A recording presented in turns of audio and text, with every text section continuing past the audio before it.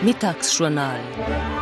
Um dieses äh, Mittagsjournal, so wie alle anderen Journale, die wir haben, jeden Tag auf die Beine stellen zu können, braucht es einmal in erster Linie unglaublich viel Kompetenz und vor allem wahnsinnig viel Teamgeist. Wir wollen die beste Information liefern. Wir wollen in einer, in einer, Zeit, wo man von Informationen überflutet wird, die wichtigste Information auswählen. Wir wollen diese verständlich, glaubhaft und seriös aufbereiten und äh, jeden Tag diesem eigenen sehr, sehr hohen Maßstab gerecht zu werden, das ist äh, eine große Aufgabe. Ich glaube, meistens erfüllen wir sie sehr gut und darauf bin ich auch sehr stolz.